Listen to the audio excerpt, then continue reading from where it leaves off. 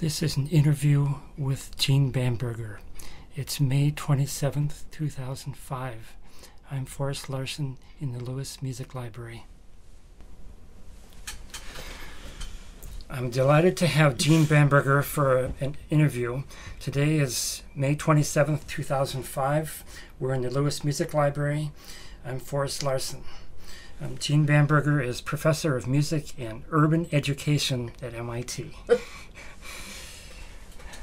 Um, just to, to start off, um, can you say when you were born and, and, and where and, and all that? All right. I'll reveal that. I was born in Minneapolis, Minnesota, and I was born on February 11th, 1924. Oh, There you have it. so I, the interviewees in the past have not given, actually given the date or it's just the year. Good. Um, tell me about um, some of your, your family roots, your parents and grandparents and all that. Okay. Uh, my uh, my maternal grandparents came from Romania Uh-huh. uh, in uh, probably the 70s or eight- 1870s or 1880s, something like that. Um, and my paternal grandparents came from, I think, Lithuania, but maybe Poland. Uh-huh. Um, I'm not sure.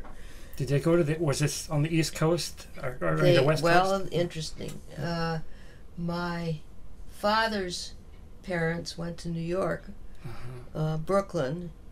Uh, no, I guess my father was born on Delancey Street in, in Lower Manhattan. Uh-huh. Um, but they came to Minneapolis uh, quite early because my grandfather had asthma, and um, the Minneapolis was supposed to be healthy, so they came to Minneapolis then, and my grandfather had a pawn shop in the in the raunchiest part of town.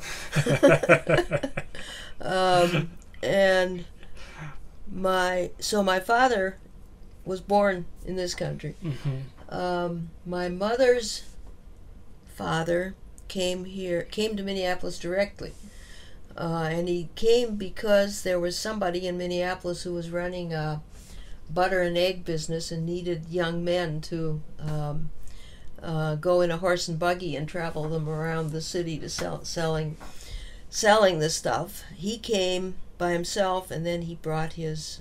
I don't think they were married yet, but his then uh, to be wife, and she proceeded to bring all of her relatives.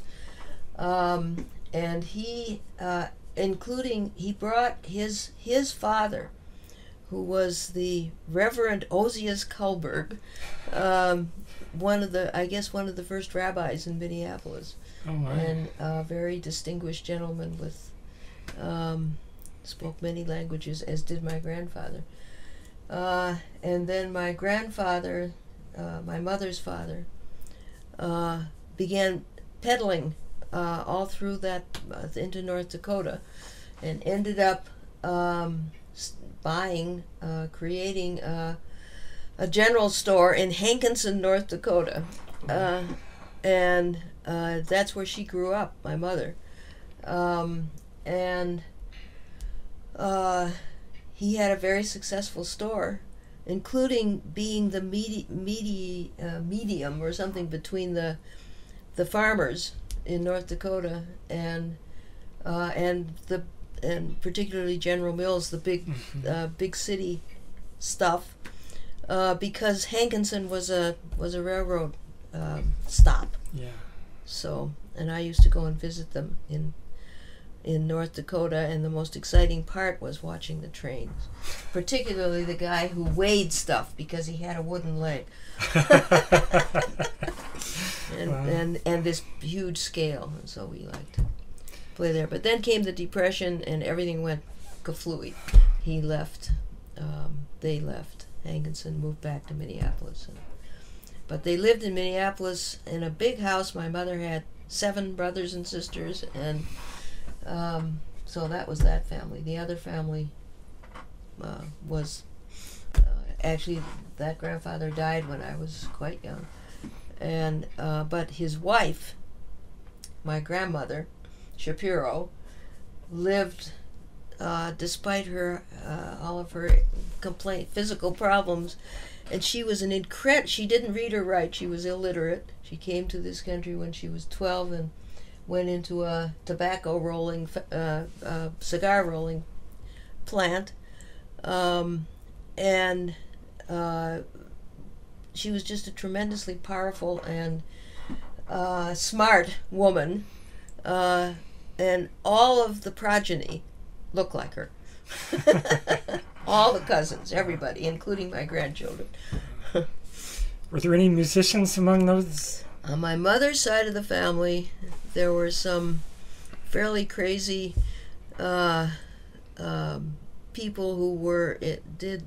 One of them played the organ for the silent movies uh, in the theater in Minneapolis. Uh-huh. Uh, and another one, and I think she did some composing. That family, well, they were entertainers, and they were very funny. So, what was the organist's name? Her name was Gert Goldstein. Uh-huh. um, and she was uh, the the whole that whole family, that whole Goldstein family was. Uh, they were very funny and very entertaining, and probably somewhat s- suspect in their in their lives. I don't really know. Uh-huh. Uh-huh. that was it. There was no other music Uh-huh. anywhere. Certainly not on my father's side of the family. Wow. Wow. Um, how many siblings do you have? One brother Uh-huh. uh, who became a doctor like my father. Uh, my mother, by the way, got a degree in child welfare at the University of Minnesota, which was all quite amazing that she um, she insisted on going to the university and uh, continued on. Had a wonderful nursery school in our house. Um, and my father was a pediatric cardiologist who uh, did that. My brother uh, was a radiologist, um, and that's the family. That's the immediate family. So, where, um, where did some of your musical interests come from? Your parents probably liked music, and uh, There wasn't that much music in the house. Um, when I was four, just turning five, uh, my parents, my father went to, my parents went, but my father went to Vienna to specialize in internal medicine after having been a general practitioner. Um, and my mother went along, and they left me and my brother in a boarding school in Connecticut, which was a great trauma. Uh, I, and uh, all I, re- I remember a lot of things about it, but one of the things I remember was that there was somebody who, some kid practicing the minuet in G every every morning, and I really wanted to play that piece. But I had already started taking piano lessons when I was four. Uh, so when I came back, I continued, and somebody decided that I uh, was gifted or whatever you call it. So from the very beginning, I was getting out of school early and, and being treated like some kind of a specimen of some sort. so what was the? Do you know why you started playing piano? Or my mother decided it was, yeah, and my mother was pushing it. I practiced 15 minutes every morning before I went to school, and when I came back from school, I had to practice again. And she, I think, from my studies of prodigies, there was always a person, a father or a mother or a teacher, who was on the back of the kid, Mhm. uh, uh, and and uh, making their life miserable and uh, pushing all of that. But uh, it was never a question of I love to do this. It was just that I had to do this. Mhm. Mhm. Did your family go to concerts very often? Yes, I got um, the Minneapolis Symphony, which was quite extraordinary. Mitropoulos was the conductor. Yeah. Um, and every Friday night there was a symphony concert, and I was be I took I went to those concerts from the time I was very little with my parents. Uh, I don't remember going to any other concerts, but those that was a regular thing, hmm and I still know the kind of literature that was I know the uh, symphony literature from those days. Um, no, I mean I recognize things. Uh, and besides that, Mitropoulos played a lot of contemporary music, which, of course, the assembled multitudes hated. Um, and then, when I uh, was at the University of Minnesota, the orchestra, the Minneapolis Symphony, uh, rehearsed uh, the hall where they played and rehearsed was on the campus. So I spent more time going to the rehearsals uh, than in my classes, I think, during the first two years. Well, even after that. Wow. So that was that that was where I got a really important education was listening to those rehearsals. Were there any um, piano recitals or anything that you heard as a as a youngster or chamber music concerts? I don't think I knew what chamber music was. Uh-huh. Later on, when Joanna Graudan came and her her husband Nikolai was the principal cellist in the in the came to be the principal cellist, and then she, I remember she got me playing with some singers. I thought singers were very silly, but Uh-huh. Uh, but I did that. But I nothing else. I didn't, except of course I went to all of their concerts, the cello piano things, and I that way I really learned the cello literature. Mhm. But I don't remember when I was little. I don't. I certainly didn't go to any concerts at all. Wow. So your f- your first teacher, uh, piano teacher, was a neighborhood um, piano teacher. What was her name? Margaret Carlson, Uh-huh. and she was uh, had studied with Jacques Dalcroze, uh, which I think had I think that was a big influence because she uh, had all of her piano students. Uh, she would invite them to her house on Saturday mornings and do Dalcroze stuff, and I think that was um, I think that was a big important influence Mhm. that whole thing. How long did you study with her?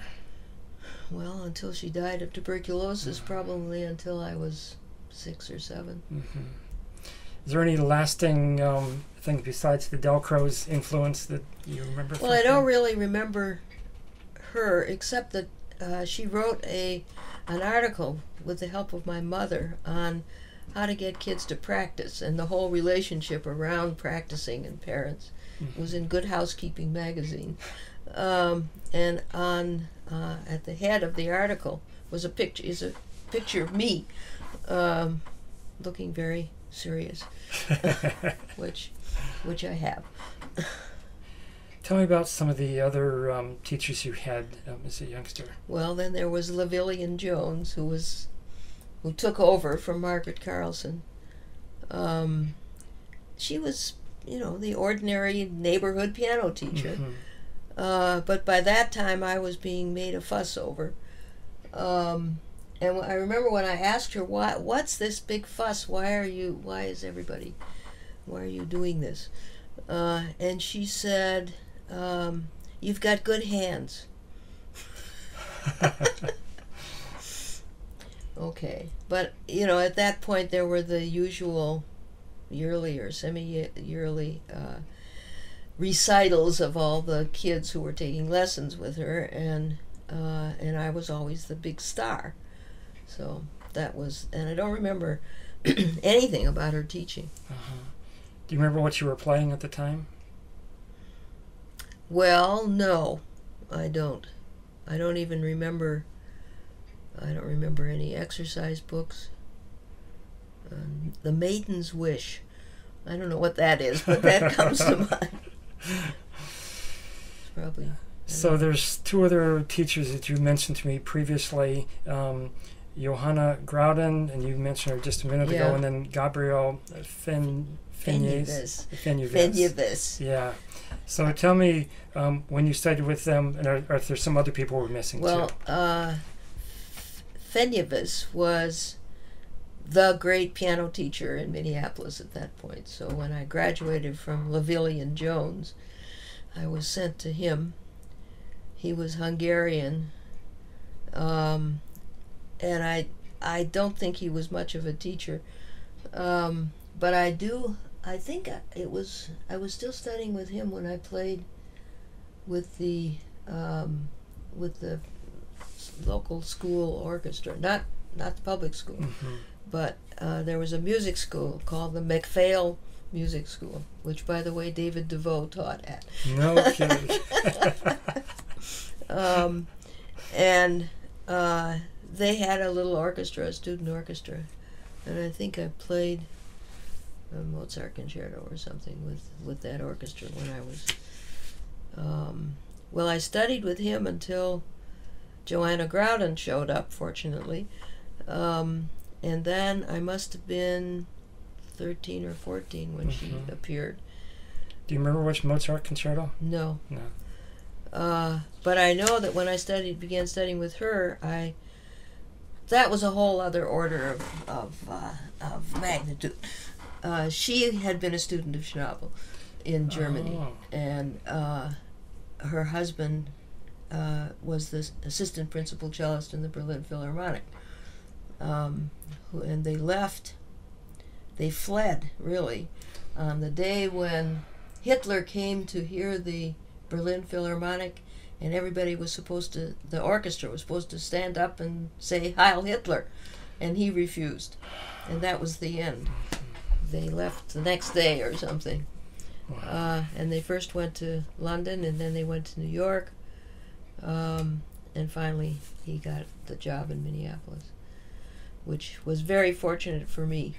Um, because then I began to have a really I began to understand something about musicians and the musical culture, and she really became my kind of uh, substitute mother. Uh, they or my substitute parents. I spent a lot of time in their house. I listened to them practicing. I went to all their concerts, uh, and she was the one who connected me up with Krenek because she she made uh, she asked Krenek would come and uh, talk about the music that we were studying. She also uh, got her collected students to play all of the WTC, the Well Tempered Clavier, um, from beginning to end. Um, I remember playing the B minor one particularly. Um, so that was that was the studying of the, those were my piano teachers Mhm. until Schnabel.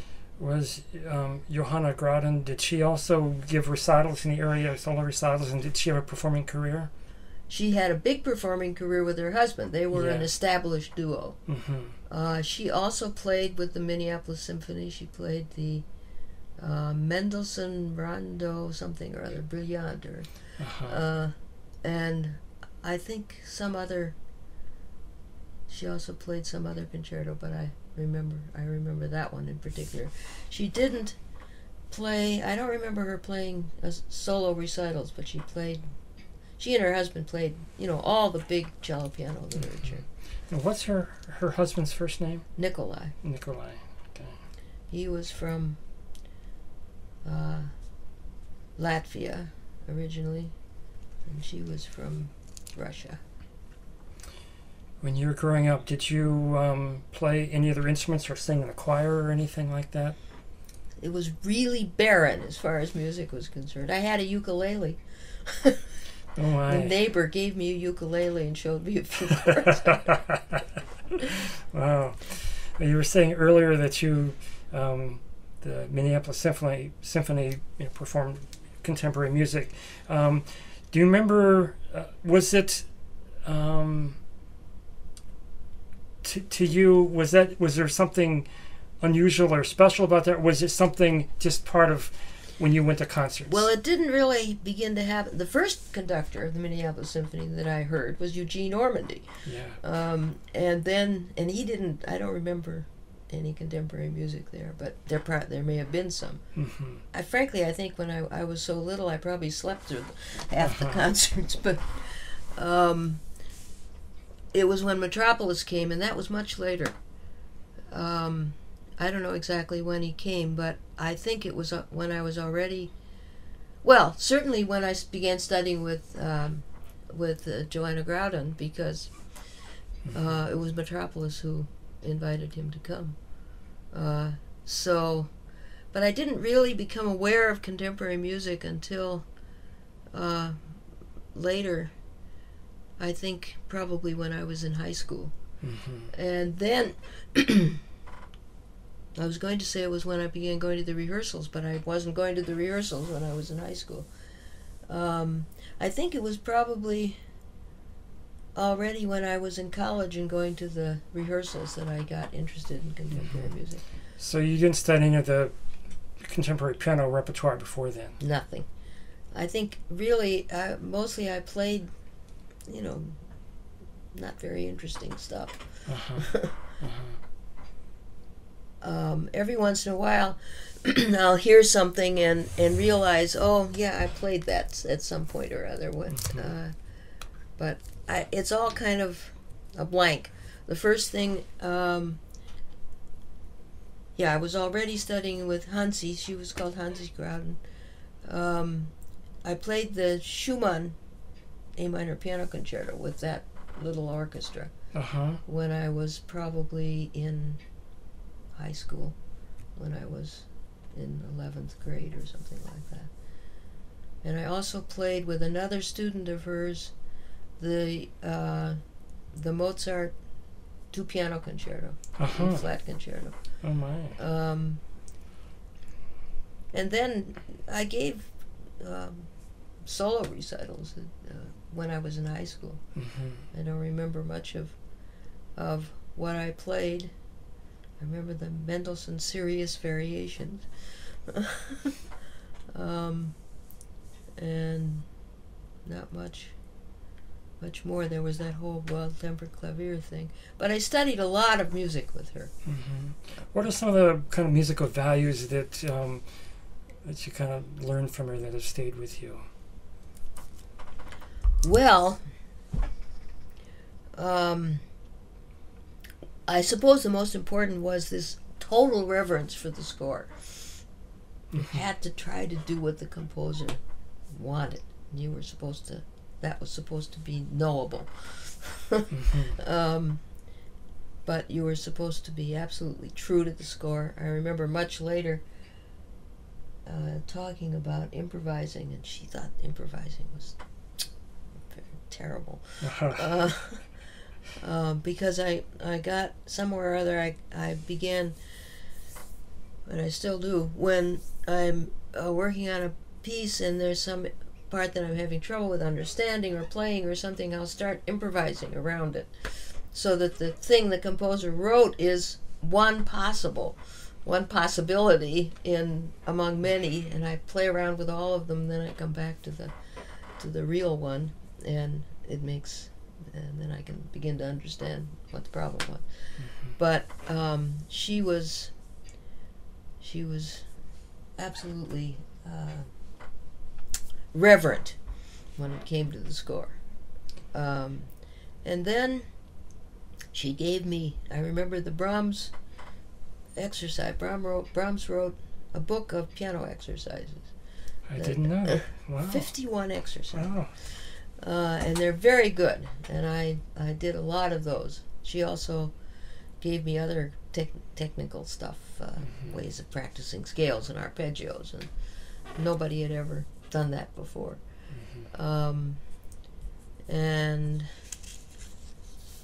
uh, I played uh, much more repertoire, Chopin and Beethoven and and Bach and Schumann and um, Brahms. Uh, the whole works. I mean, she really that the most important thing she did was to uh, introduce me to the the real piano literature. Mhm. Did you do any Debussy? Yes, Clair de Lune. Uh-huh. Uh-huh. um, I think that was yes. I'm sure that that was because I remember when I went um, when I went to Europe on the Fulbright. There was an initial interview, and they asked me did I had I played any contemporary music, and that and I said Debussy. That was as far as Uh-huh. so in in um, high school, you mentioned you had played with some some singers, um, accompanied yeah, some but singers. it was probably already when I was in college. Okay. Uh, I remember playing Schubert Lieder Mhm. a little bit, but it Yeah. wasn't much. It's no anything. real ensemble experience prior nothing, to, to, to college. nothing, nothing, and I didn't know any other people who did music until I got to college. Wow. I was totally alone in all of that. Were there any? Um, um, there must have been some important musical experiences you had prior to college that really kind of caught your attention. I don't think so. No. I mean, Yeah. just the just the Graudans and that whole Mhm. circle. That was. Mhm. Then I really I began practicing a lot, which I don't, and and sort of thoughtfully. Mhm. And before that, I don't know what I was doing. Mhm. Was there? Did you hear much music on the radio? Classical music on the radio? My father listened to the Metropolitan Opera on Saturday afternoons, Uh huh. and we had uh, initially an old wind-up Victrola, Yeah. Yeah. and he listened to Chaliapin. Uh huh. But there, I don't remember hearing. There, it was uh, vocal music that he liked. yeah. Um, other than that, nothing. hmm When you were um, in in high school, what did you have any kind of future plans for for music, or were you just doing it because you just Well, wanted to do it? It was sort of ordained that that's what I was going to do, Mhm. and I, I got out of, I got out of school early. I was at home in the early afternoon. I didn't really know anybody.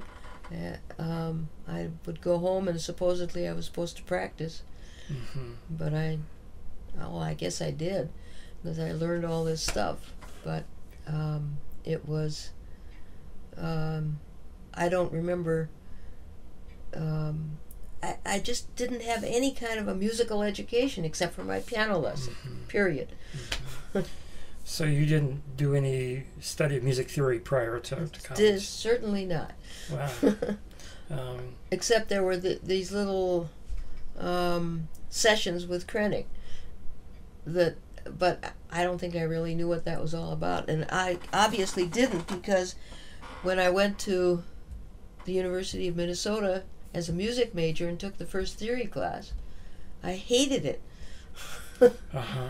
um, I just didn't have it didn't have anything to do with anything as far as I was concerned.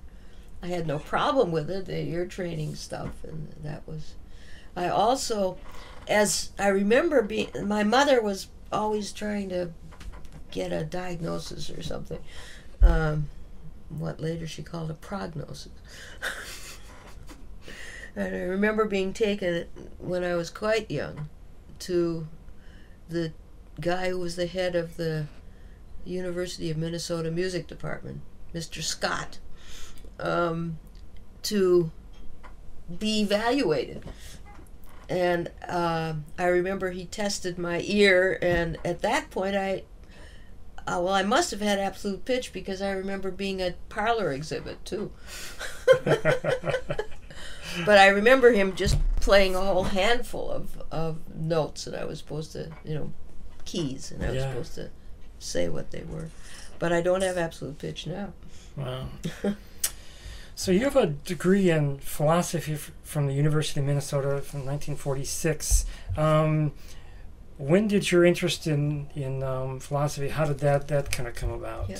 It, are you sure the four, 1946 is right? I'm Well, not that sure. was I thought that was what was on your resume. Maybe the date Well, is wrong. Maybe it isn't, but because I remember I didn't go to uh, Berkeley until 48, but Okay, maybe that. I think it was. A, I think it's maybe a little later than that. Okay.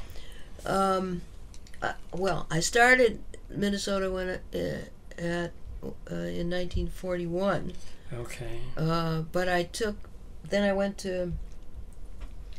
Uh, I went to New York after two years. Okay. So the first two years, I was a music major, I guess. Um, maybe I switched already in the second year to philosophy because I, I really didn't like the.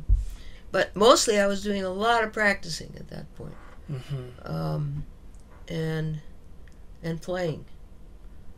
Uh, and going.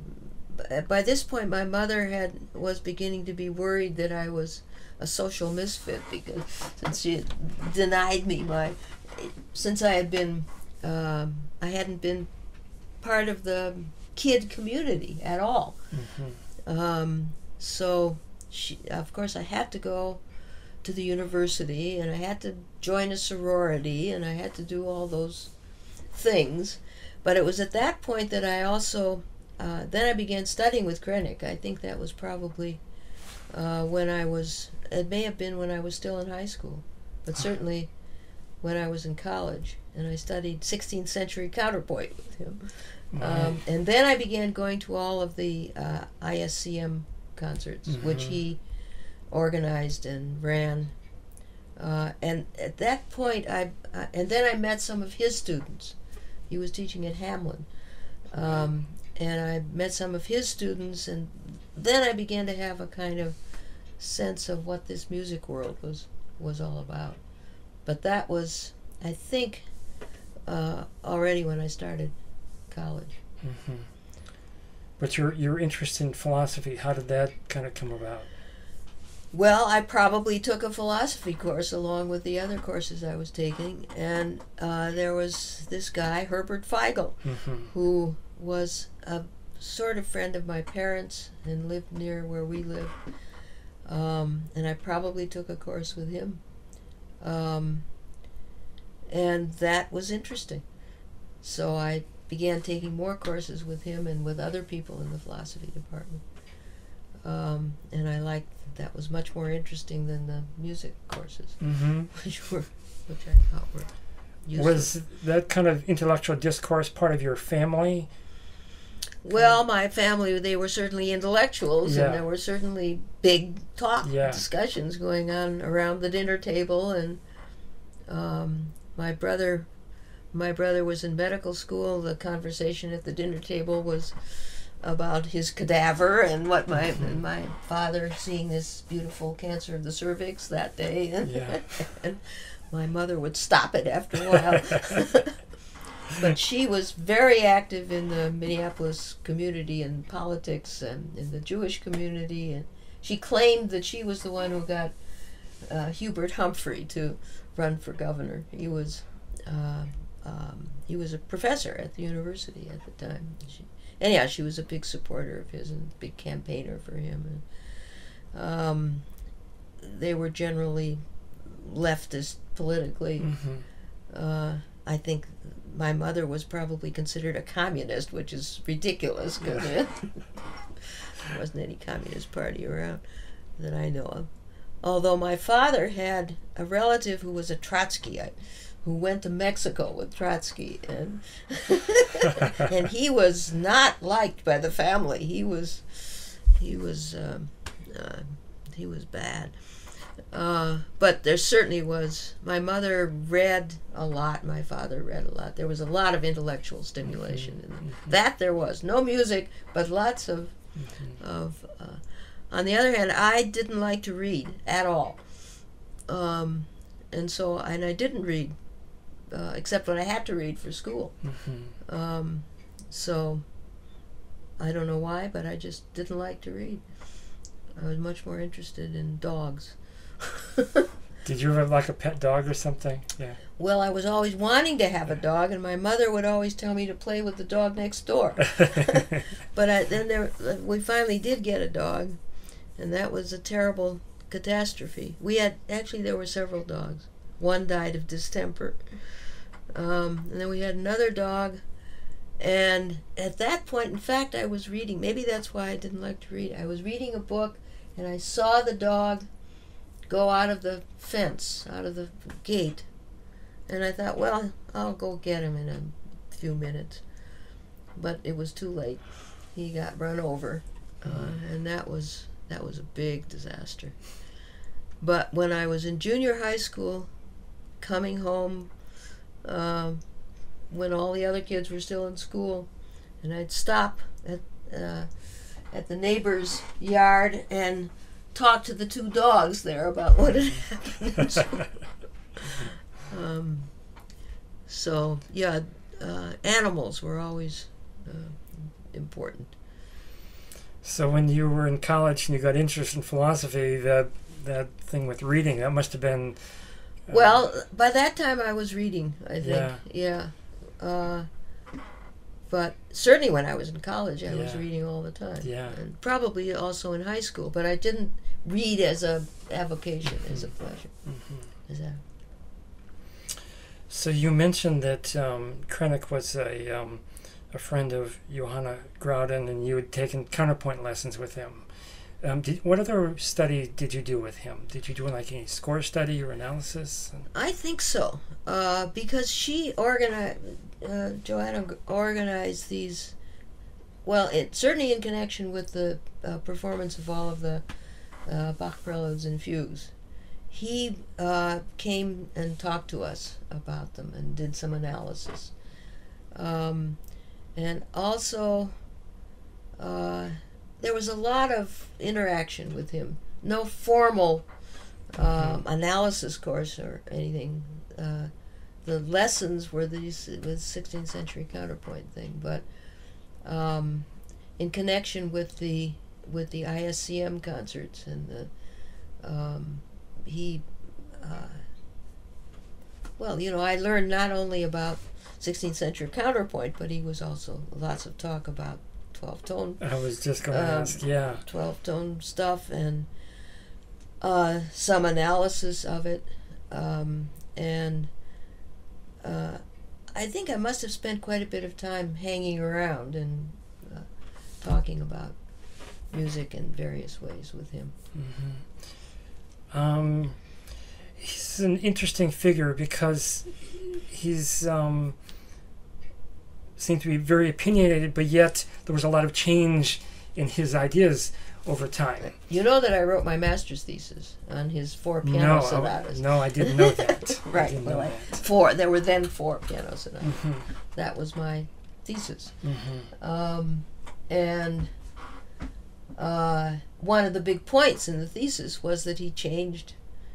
Well, first it was Johnny spielt auf, which was jazz, Yeah. um, and then uh, then came the twelve tone stuff, uh, which he was still pretty much into. I think when I when I knew him. Yeah. Uh, but on the other hand, he he uh, made fun of it because I remember. well, he sort of made fun of it, um, and he certainly dis- distinguished between among the ways in which it was used. Um, he talked about a woman who came to study with him composition, and after uh, a month or something, she said she was so grateful to him teaching her this twelve tone thing. Because before that it used to take her months and months to write a piece. And now she could write a piece in a week. And it was probably just as bad as the other pieces. But that was certainly where i that's where i got introduced to Mhm. to uh, 20th century music Tell me a little bit more about his, what he was telling you about the 12 tone theory. I mean, you read some statements of his, and he was talking about it being the future of music and very kind of strident about that. But he obviously had. well and on the other hand there's this book i've forgotten what it is the music appreciation book that he wrote uh-huh. that's something like all about music. That's not right, but uh, it's a very good book.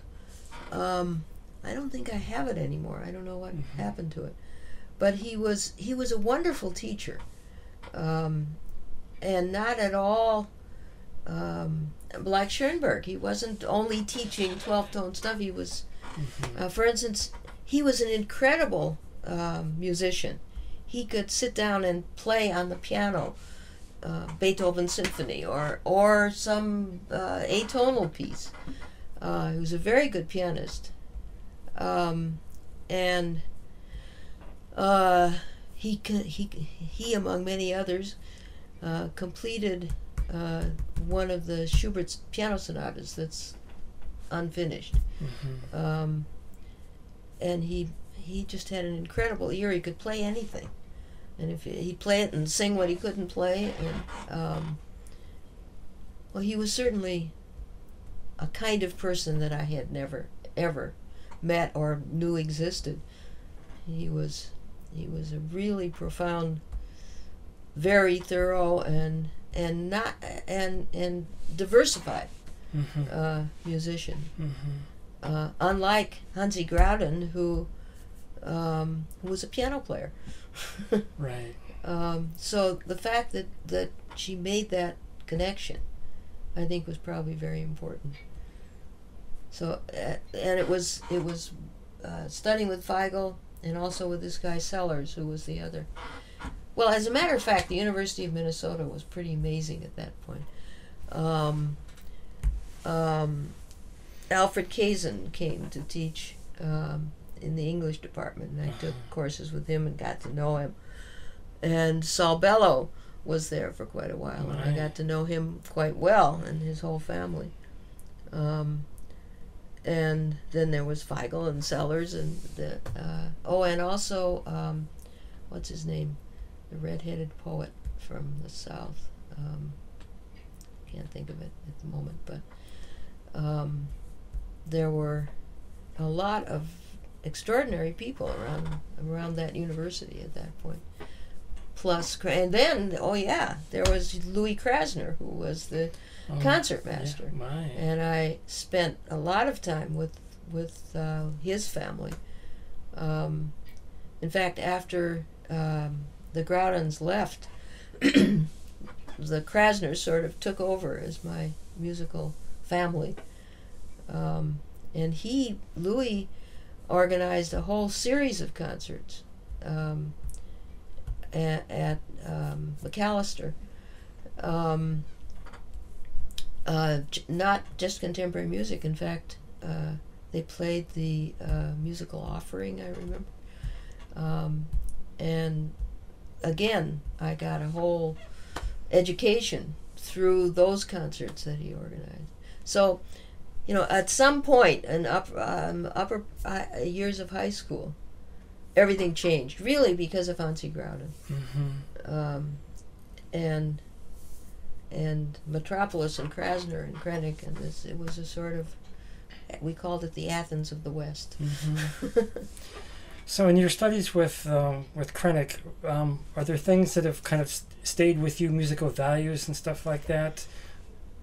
Uh, well, um, that you can take a piece of music and think about it. mhm. Um, that uh, you can go deeply into into a piece of music.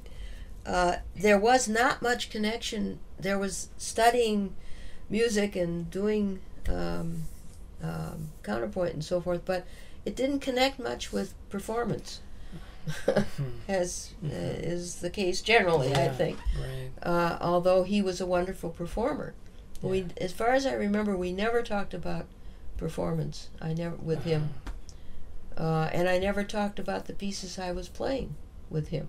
Uh-huh. And Hansi Graudan, her way of teaching was play this louder and wiggle that finger more, and uh, nothing about the music, Mhm. except to be faithful to it, Yeah. whatever that meant. Did Krenek talk much about some of the other composers that he knew? I mean, that was a real kind of hotbed of, of activity. And Well, he certainly, you know, there all the Darmstadt Alban people. Berg and uh, yeah. well, not not so much that, more the Vienna Yeah. Viennese thing. Uh-huh. Um, I don't remember him.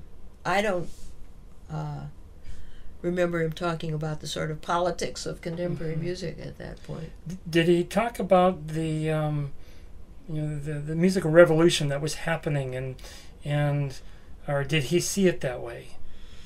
I don't know. Uh, since I was such a hick from the farm, I mean, not literally, but um, I just ha- had no sense of what, of any of that that was Mhm. going on. Mhm. So he, I know that he was, uh, he felt. I mean, here he was at this this little podunk university, college university in Hamline. I mean, there were all these people around who were European, who were refugees, and um, not very happy that they were stuck in Minneapolis and St. Paul. Mhm. So there was, I think, quite a bit of, of uh, well, one thing that that was very fortunate was that because they were stuck in Minneapolis and St. Paul, they were very accessible to somebody like me, Mhm. uh, much more so than in New York, for example. So there was this very tight community of, of refugees, music music people and refugees. Um, and Feigl wasn't part of that, but still he was sort of part of that. Mhm. There was this whole group of people who were who were out of place and and found each other and uh, were very happy to adopt um, a kid who was uh, interested in music. Uh, so that and that was that was the good part about being in Minneapolis. Um, I want to ask you about your studies with um, Arthur Schnabel. Um, and Schnabel knew Krenek. I, is that correct? I- Was is that I think connection? so. He certainly knew Sessions. uh-huh. No, the connection was Joanna Graudan. Okay. She sent me to Schnabel as sending me to her teacher. hmm um, and that's how I how I got to him. I don't remember playing for him before I went. I remember she had me play for Serkin, uh, and I, in fact, when I was twelve, I went to audition at Sir at at Curtis, but I Mhm. didn't get in. Um, and uh, I don't remember playing for for Schnabel, but she insisted that I did. So Mhm. I guess I did because he came periodically to play with the orchestra. Um, and I guess I played for him. I definitely remember playing for Serkin. Um, but anyhow, she sent. He accepted me, and Mhm. uh, I always had the feeling he accepted me simply because she said so. But maybe I actually played for him. I don't know. So where did you start studying with him? I mean, eventually he was in New York, um, but did you study? In New York, Yeah. he was already a refugee living Yeah. at the Peter Stuyvesant Hotel. hmm um, on 86th and Central Park West.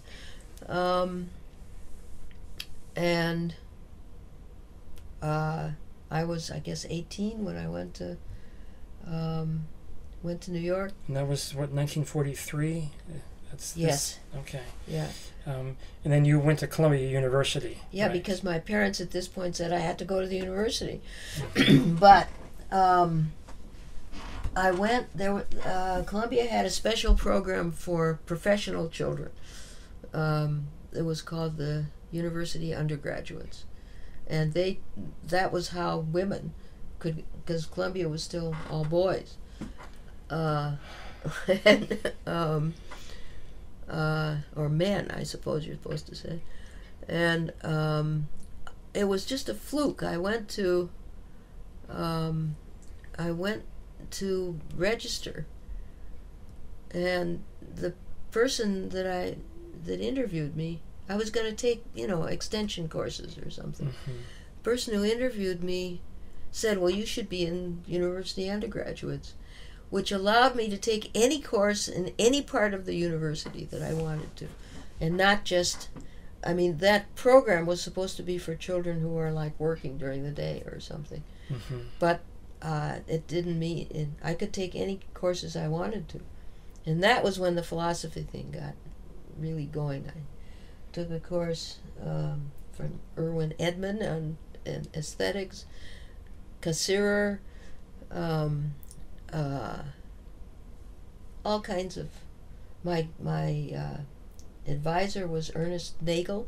Uh-huh. Um, so, and that was uh, I lived right practically around the corner from from Columbia, uh, and that was very important because that was my. I mean, I wasn't at Juilliard or someplace else where there were other students. Again, I was off isolated somewhere. Mhm. Um, but and when I went going to Columbia, uh, I still didn't really meet anybody much. Um, it was during the war, and uh, so the population was kind of funny. I, I seem to remember people who were older in those classes, but they were they were very good classes. Um, and that was the first two years I was um, going 43, 44, 45. I was studying, uh, taking a le- well, the all of the there were three of us: Leon Fleisher, Claude Frank, and myself. And then for a while, uh, a woman named Hilda Banks and for a while Deacon Newland. Um, and uh, everybody went to everybody else's lessons, which was a big, uh, important thing because we not only heard what he had to say about the piece we were studying, but everybody else's pieces as well. And he he he only played a piece for him once. Um, you came with your piece. He had his upright piano over there and the grand piano over here, and you played the piece, and then he went at it.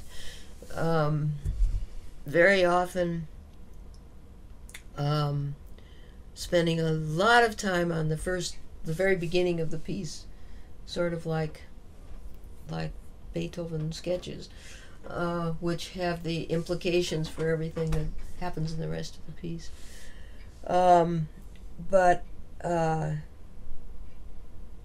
the very first lesson, he would ask. He asked me a question like, "Why did you do it that way?" or something, and not not aggressively, but really asking.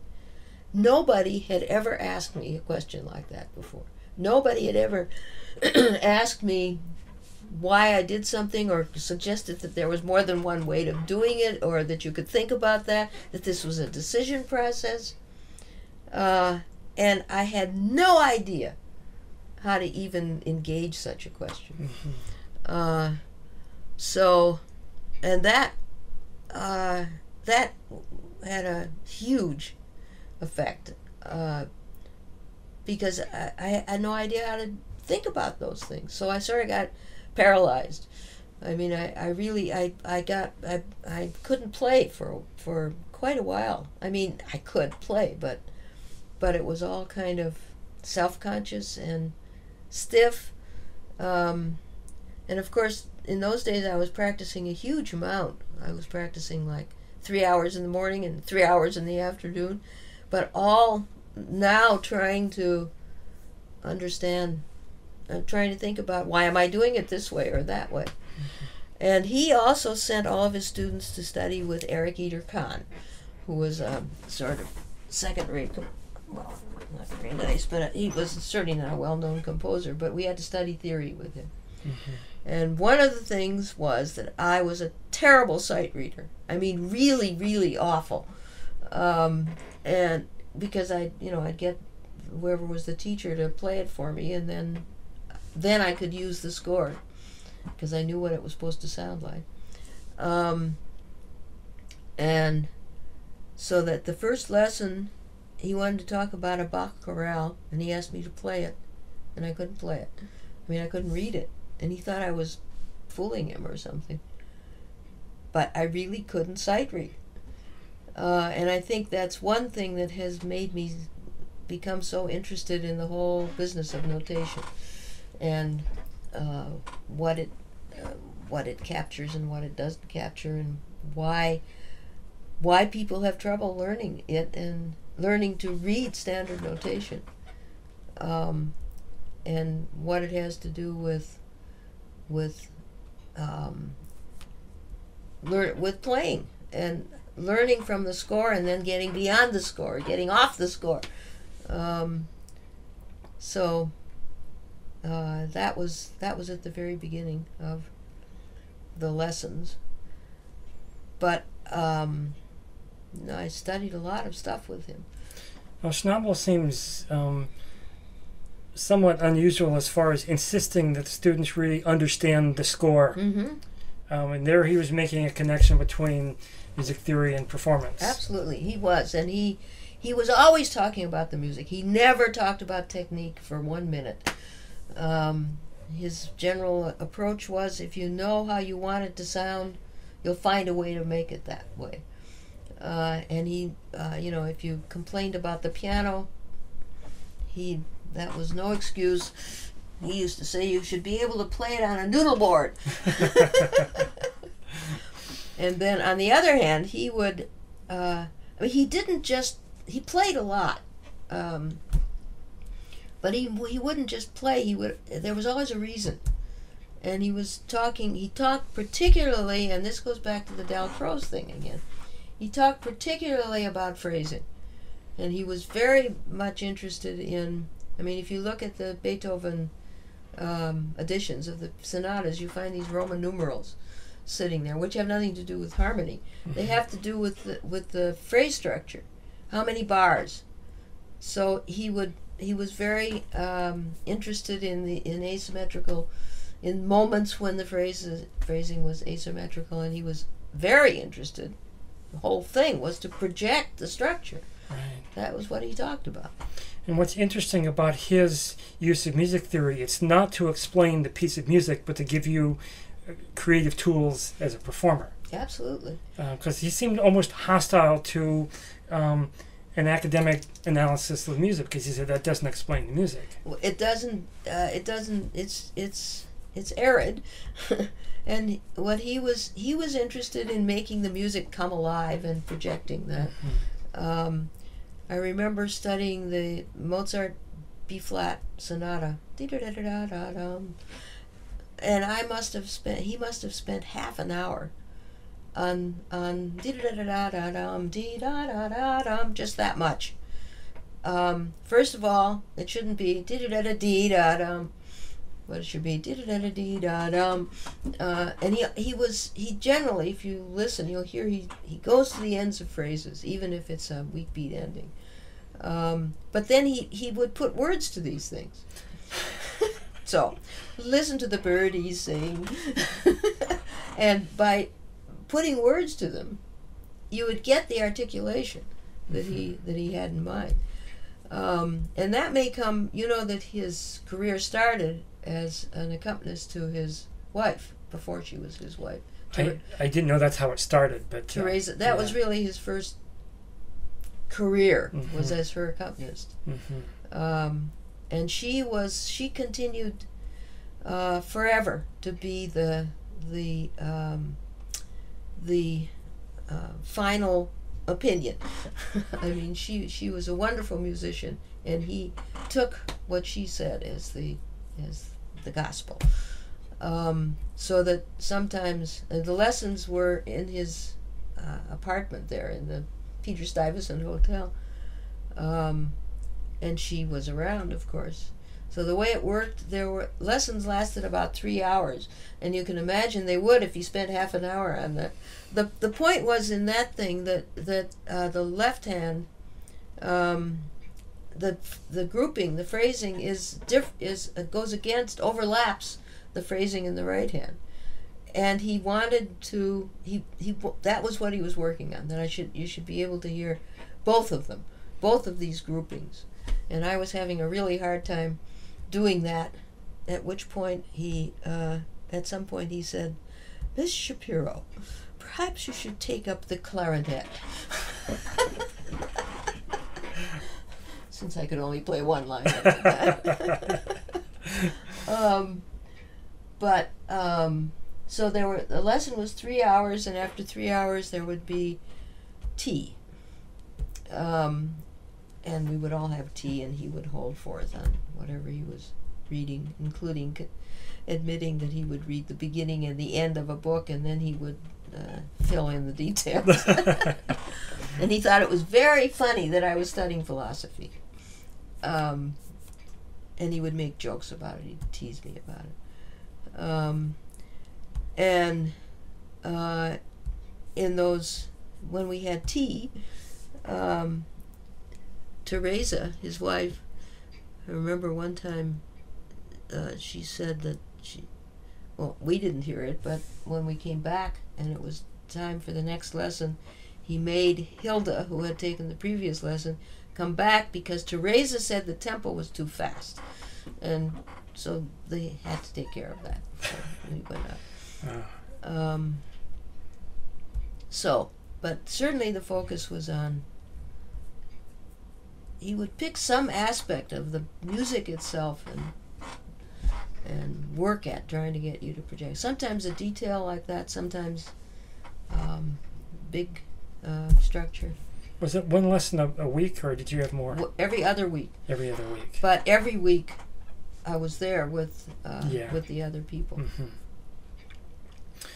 There's so many aspects of this novel that um, you know, I, I, I it's it's hard to, to choose, but um, some ideas that are um, really interesting. He's, he talks about the futility of recreating the composer's intention, and Which you know that's still a big thing out there even today. Right. Well, that's why I was making jokes about Hansi Graudan, who was you were supposed to be, yeah, right. And um, all of that was was so new to me, and I was so scared. Anyhow, every time I'd go for a lesson, I was sure I was insulting him by my playing.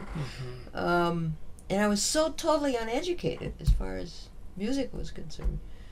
Um, and uh, no, the the it was not to recreate the composer's intentions, but to recreate the the the music that, and that was your job was to try to find, uh, to understand the the piece. And not to start out by thinking, what did Beethoven want me to do? Right. And he talked for sure. about the performer becoming equal with the the, the composer. And, Right, and he also another um, big thing was that I quote often: practicing should be experiment, not drill. Um, and he he would experiment. I'd stand outside the, the apartment door and listen to him practice, and he was always practicing um, phrasing Mhm. and experimenting, uh, uh, both with the with the you know the where the bound phrase boundaries were, but also how to project it.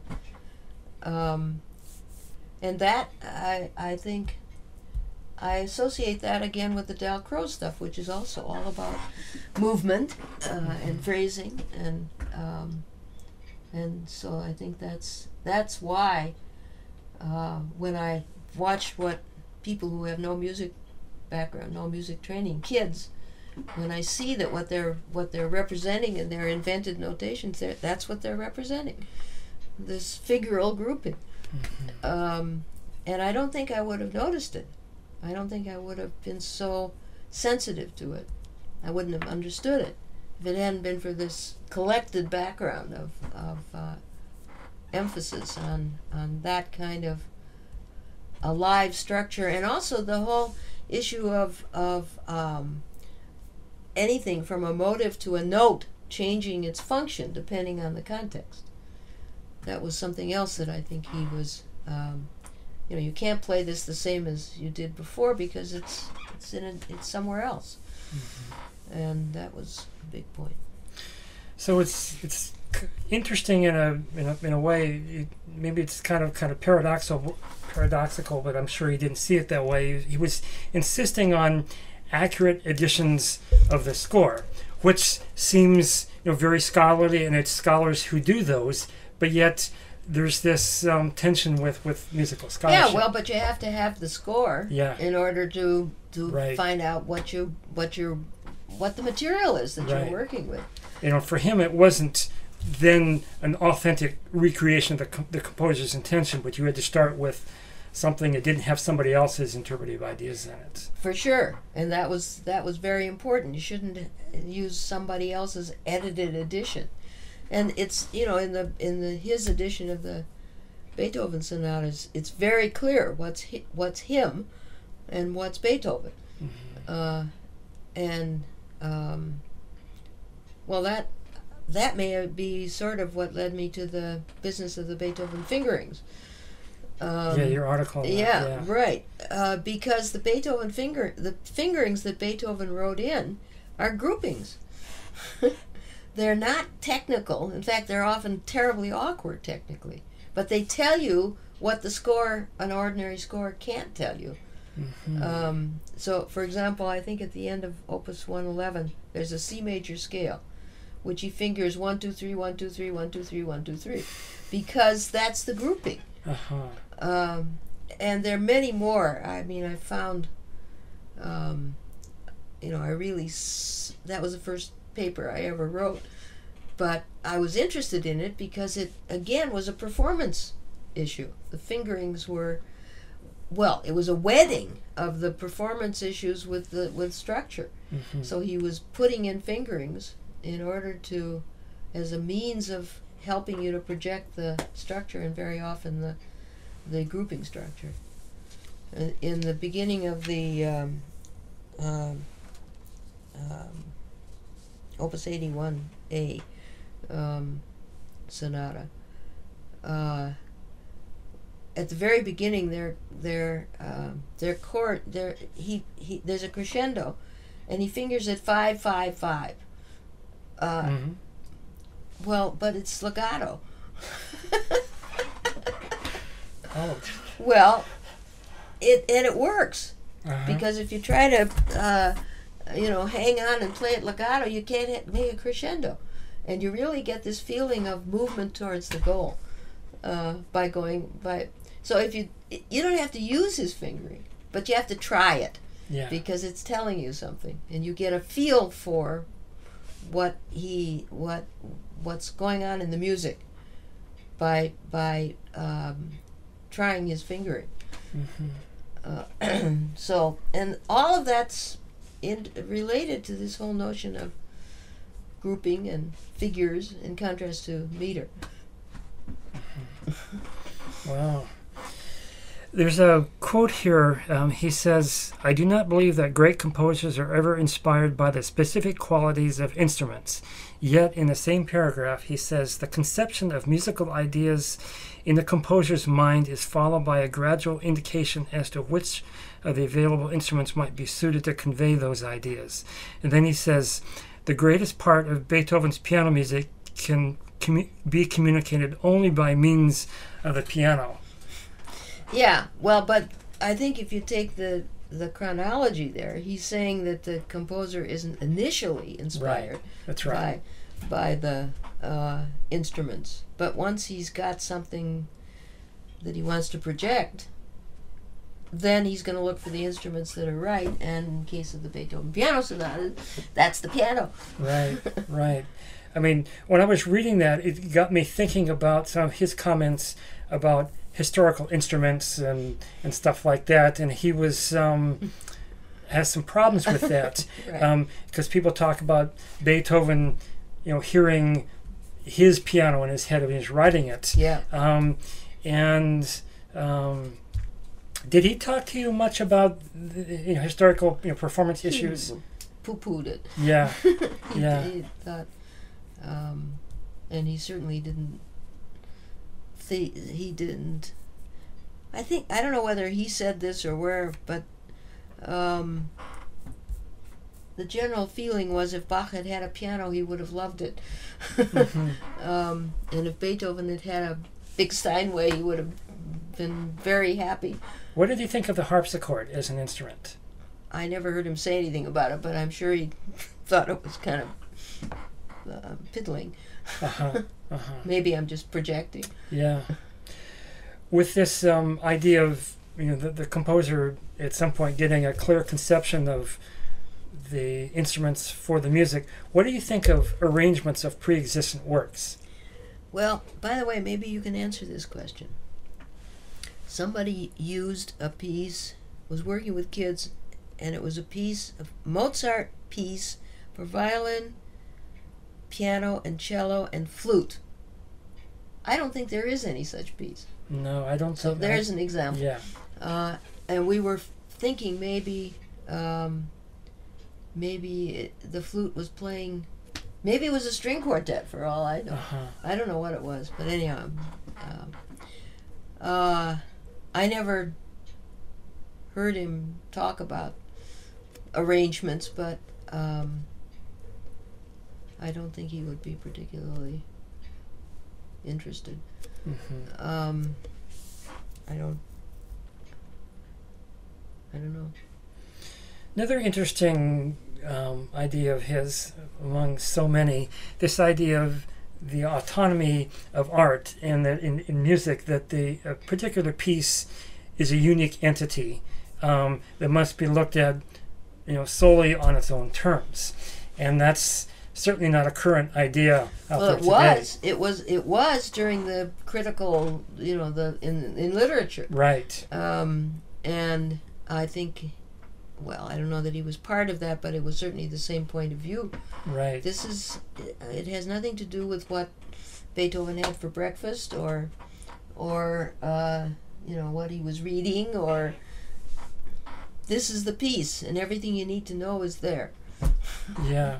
What's what's your um, feelings about that? Is your as Well, I certainly? I tend to lean in that direction. I Mhm. would say, I uh, you know at at the University of Chicago I taught a course in art, music, and literature, um, and we all it was a big course, and uh, we all taught all three, but we never crossed over.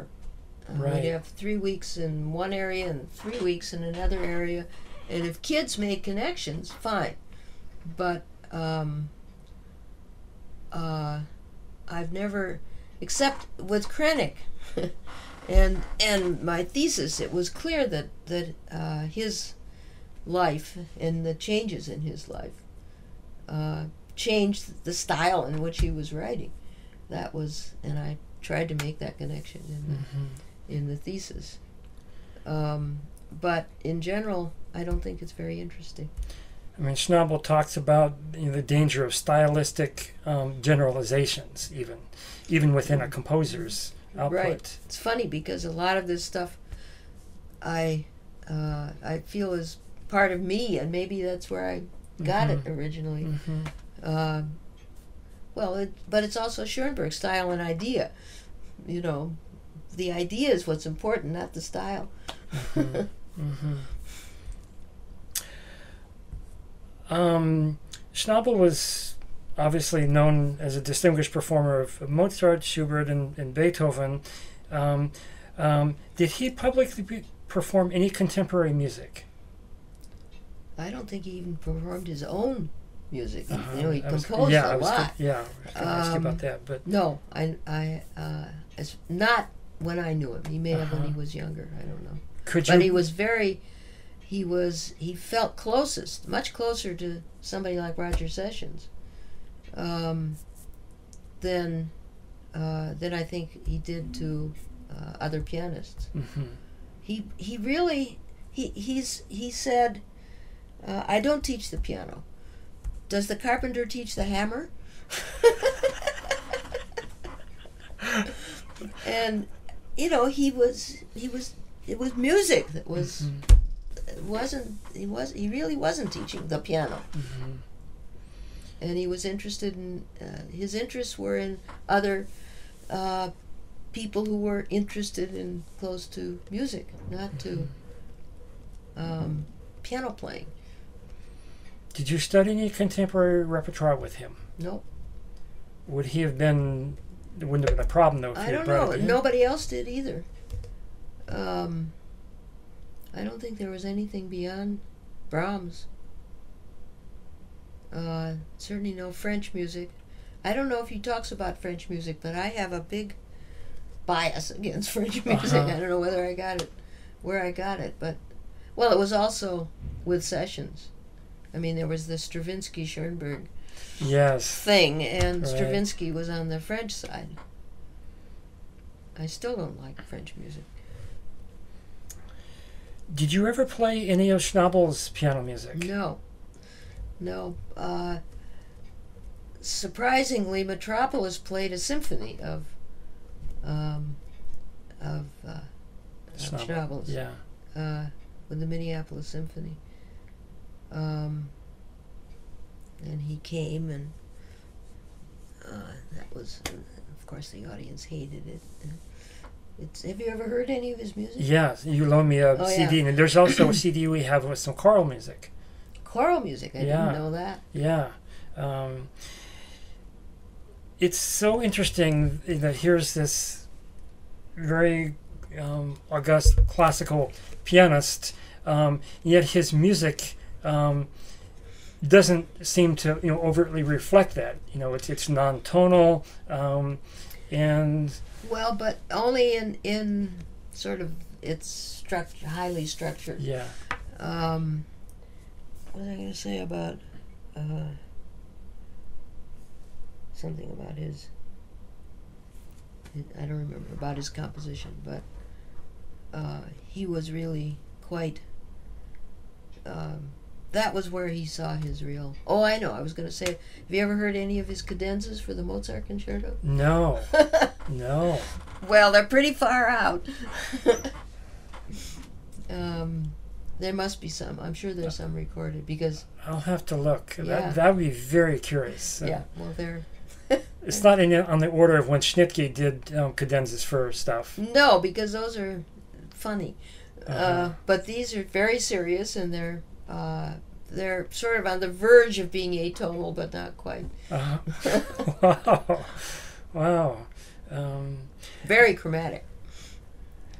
Did did Schnabel talk to you much about his music and and just those um, that different world that he inhabited as a composer as opposed to a, No, uh, all I know is that he he really enjoyed uh, being with Roger Sessions. He sent me to Roger Sessions. Schnabel sent me to Sessions. Mhm. Um, and but I don't. No, he. I don't ever remember him talking about his own composing, except that he had the usual twentieth century um, uh, paranoid attitude because nobody plays his music, nobody likes this kind of music and that kind of stuff. I don't think. I don't know. Paranoid is probably not the right word to say, but resentment. yeah Yeah. but that was that was hard on other people Oh, know, yeah. Schoenberg and All of them. yeah Right. yeah Well, I think uh, Schoenberg was really paranoid. read his letters oh yeah, right. Yeah, right. I was I was quite shocked when I read some of the Yeah, in letters to the editor he'd write back. Right. Well, I'll when we get there, I'll tell you about my visit to Schoenberg. oh, I, I do have a question there. Yeah. Moving on, so we don't. Um, okay. Um, in 1946, you played a concerto movement in D major. At the time, it was believed to be by Beethoven. Um, it was with a performance with the City of St. Paul Pop Concert. That's, Right. And that's the that's the Minneapolis Pops Orchestra. Right. Yeah. So tell me um, about finding this piece and performing it, and what brought that about. Well, I found it in in the um, Newark Public Library. hmm How, why I went there, went looking for it. I think I was probably looking for, for unedited, you know, looking for editions of stuff I was playing. Um, Mm-hmm. And that would have been in, the Beethoven collected works. Uh, Exactly, Yeah, that was the- exactly. The, I think that's- 1888 edition with I, Guido Adler. that's right. Yeah. I think that's, and I just stumbled on it, hmm um, and took it home and played it, and thought I made a discovery. Yeah. And there's no indication in that edition that there was any question of authenticity. So- Not that I know of. Yeah.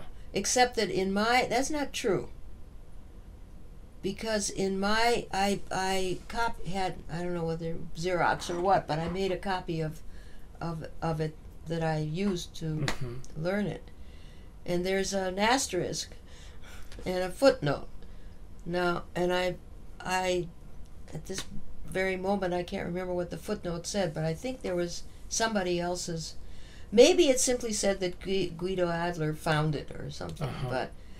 but um it's now attributed to somebody else Yeah. Um, this guy, um, Johann, um, um, Johann Josef Rosler, yeah right 1771. That's what I think. I think the asterisk um, uh, has his name connected to it because I remember this name. I mean, according to the research that I'd done at, when Adler put it in there, he didn't know that there was any question of Uh huh. authenticity. Well, then probably um, uh, somebody else might have just written that in into the mhm, uh, Yeah, score. yeah. It wasn't until 1925 that um, that um, it was you know correctly identified. Um, Right. Well, and it was certainly after that that Yeah, I. Um, but Yeah. that still still didn't seem to be publicly known because um, there have been numerous recordings of it Hmm. claiming to be by t- Beethoven, including some current CDs available now. Really? well, um, I, re- I remember telling Schnabel about it, and he said, Well, what does it sound like? And I said, Well, it sort of sounds like Mozart. And he was furious. One doesn't sound like Mozart. Mozart is, is uh, you know, that was again style, Mhm. but not, not Yeah. uh, Mozart, yeah. uh, not the piece of music. That was the end of the discussion. wow. Um, so, how did it come about that you got a chance to play this with the orchestra? Well, it's interesting that I couldn't have answered that question except that going through all of these mounds of letters that have have surfaced, um, I found letters. Um, I guess to my mother. Anyhow, letters saying something about talking to the guy who was the conductor of that orchestra and arranging it, and I think Krasner was somehow involved, but Okay. uh, it was manipulated Uh-huh. in the sense that uh, people got to the co- the conductor, and the conductor agreed to uh, to perform it. hmm And you wrote the cadenza for that, right? I did. Yeah. I also played it with the University of California. The Berkeley. The in Berkeley, yeah, yeah. Right in 1950. Yeah. yep. Uh, and Sessions said afterwards the best part was the cadenza. Do you and he also said, by the way, when I was doing that, going out to lunch with him, and he said, "Well, Gene, I hope you're not thinking of being a composer, uh, because women who compose are very unhappy." and then he started mentioning several of them who had been students of his, and all of whom were very unhappy. Wow. Did your performance of that piece um, draw attention to it um, by other pianists? Do you know? I don't think so. I think it was, you know, sort of a Mhm. one-shot thing, and that was Mhm. it. After mean- all, you know, it was a college orchestra. Yeah, but as far as with the with a Minneapolis in, Oh, in Minneapolis, Not that I'm aware of. uh huh. Pop's orchestra was, I, I guess, is it, you know, it it was in a big hall, a huge hall, but it, there were people were eating. You know, it was that kind of pop. Uh huh. Yeah. right. Right. Schnabel used to say he didn't like to record. You'd never know he didn't like to record since he recorded all that stuff. But he said he didn't like to record because he always imagined people listening to the record and eating. Yeah.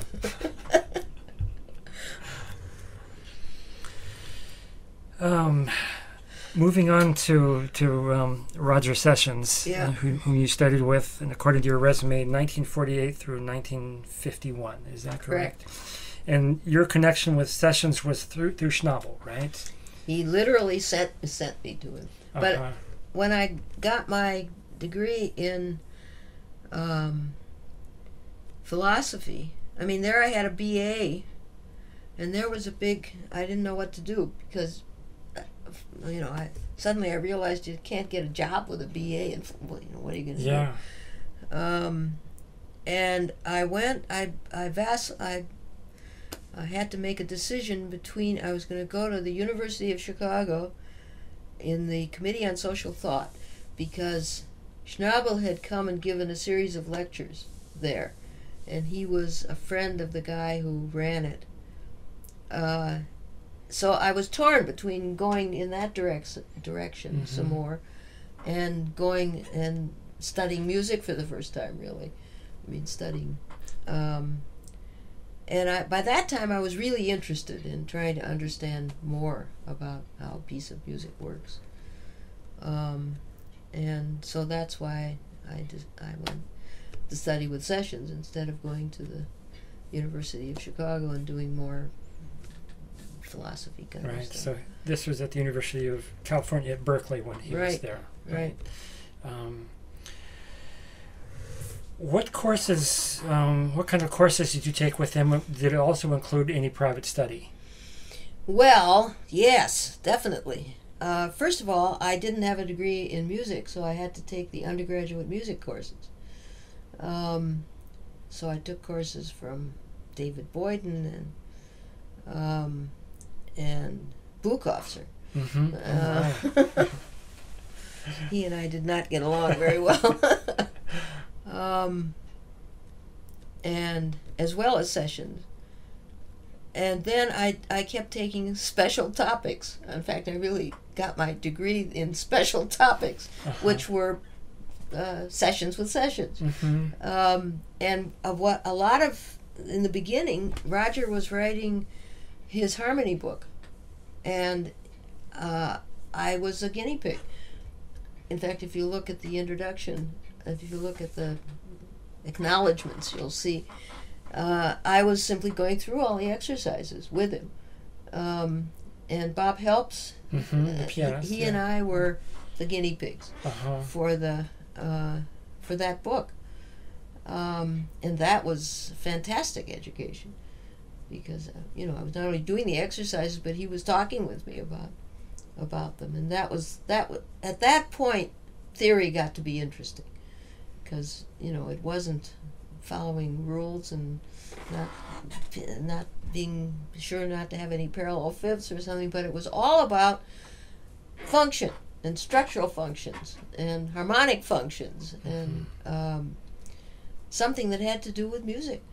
And then I took his analysis class, and he spent he spent the first he spent a, more than half of the semester on the first movement of the Eroica Symphony, um, and that was a revelation as far just just I, I had no idea that there were things like that in music or that um, and uh, at the end uh, of the the exam. At the end he gave us a piece of music to to analyze. And I said I couldn't do it. And I was going to walk out of the exam. Uh, and he said well just do it. I won't read it. Uh, just do it for yourself. So I did it for myself, and of course he took it and read it, and it was fine. but uh, uh, hanging around with all of these these big, important people, uh, it was very easy to feel pretty little. Mm-hmm. um, so, and then I was taking a, a composition course from somebody named Charles Cushing, uh, and going to all of Sessions' composition sem- seminars where uh, the composition students would bring their pieces and he would laboriously play them on the piano um, and talk about them, and that was another whole education. But this, and just being around really for the first time uh, with other music students was a, a whole new experience. Um, there was, I mean, Leon Kirchner was teaching there as an instructor. Uh, Earl Kim was away that first year. He had the Paris Prize and he was in Paris. Andy Imbrie was there, and I began playing all their music. I gave, you know, the first performance that's there on the uh, uh, one of these CDs, Am- Imbrie's Piano Sonata, and Leon's. I don't think there's a recording of Leon's. Yeah, what we got here sonata. is um, Imbrie and Sessions. uh-huh. Played Sessions second Yeah. sonata. Um, but I played. Wasn't there a tape or something of, of his violin piano duo, Leon's? No, I don't know. Uh, I guess not. Um, but I played, uh, you know, I played everybody's music, and that was, um, that was another whole new life.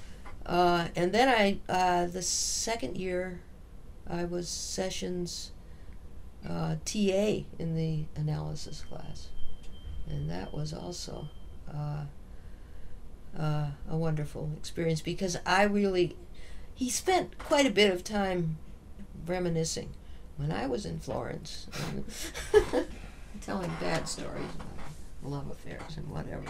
But um, so the students would come to me for for help. oh, yes. And one of the things we had to do, and they had to do, we'd take a huge piece of of um, wrapping paper or something, a roll of wrapping paper, and analyze a piece from beginning to end on these uh, long rolls of paper, doing saying absolutely everything that you could about the the piece.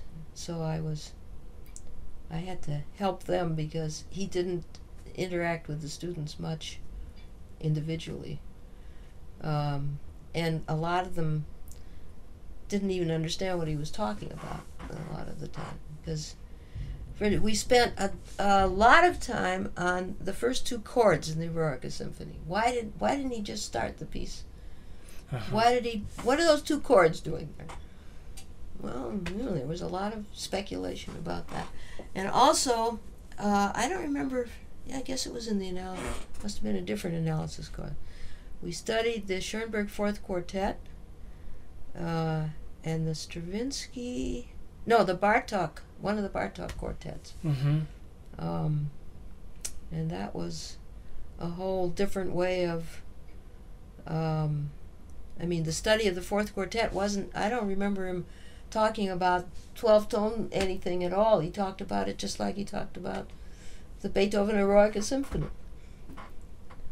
Well, he seemed to have a, a faith in if music was, um, if it was a good piece of music and it was what he called and um, had intelligibility, it didn't matter if somebody didn't understand it right away. He just seemed to have a faith in that and didn't seem to be caught up in this um, accessibility. Yeah. Right. Well, I, in fact, I in the paper I just wrote, I quoted him where he said he was uh, he was much more interested in the piece that he didn't understand at first and had to come to understand, and a piece that he had to listen to many times. He also didn't like recordings. And the reason he didn't like recordings was because they were always the same.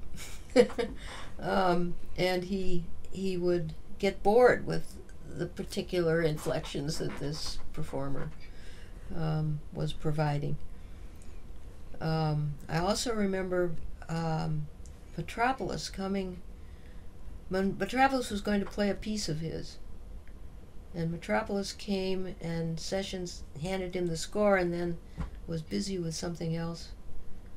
And the story was he came back after half an hour, an hour or something, and Mitropoulos said now he, he knew the first movement by heart.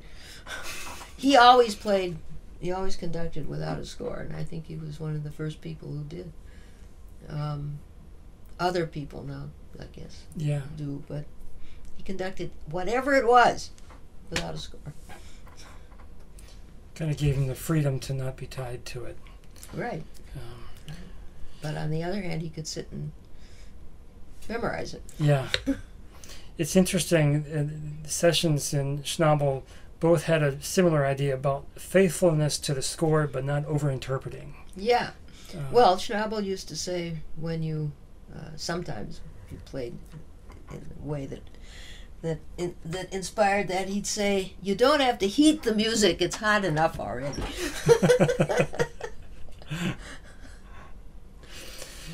um, there's a um, a quote here from um, Sessions' book "Questions on Music." Yeah. Um, that I'll read for some some some comments here. He says. What one is, is sometimes tempted to regard as quasi pathological is that musical analysis, as sometimes practiced t- today, like many other things in our present day world, often tended to become over specialized, something to be pursued for its own sake, often with the implied object of discovering and establishing the ultra ultimate criteria of music on a quasi scientific, um, supposedly rational basis. Concessions, however, are made somewhat grudgingly to what is called intuition, as a quasi explanation of what cannot be fully explained in strictly ac- analytical terms. And then he speaks of the antithesis between the creative and the analytical attitude towards composition. Um, this is coming from a very powerful intellect you know, and that's uh, it's a. Well, that's what it takes in order to. Yeah. I mean, a less powerful intellect is willing to do all the things that he's talking about. Yeah. There. But he was never. Uh, he was always, well, experimenting. He was always playing around, considering different kinds of possibilities, and like those first two chords. Mm-hmm. Well, you know, what's the problem? You've got an E flat major chords. He's establishing the key. Well, that's not good enough. I mean, he establishes the key when he goes dum da dum da da. Yeah. That establishes the key too. What? Uh, but but to to puzzle over why something is the way it is. The the recapitulation in the uh, um, in that first movement where the horn is playing sort of like he was still before. Yeah, Uh, Right. Well, you know, you can. What's that doing? Uh, But all of there's so many puzzlements in any. I mean, that's the nature of complexity, is is that, and and it is like uh, like Schnabel in the in the. it's not a question of, and I'm sure that that had all of that had a huge effect on on my not sort of uh, joining the club of the music theorists because they're uh, they're just what what he says there, and it doesn't get to the to what everybody.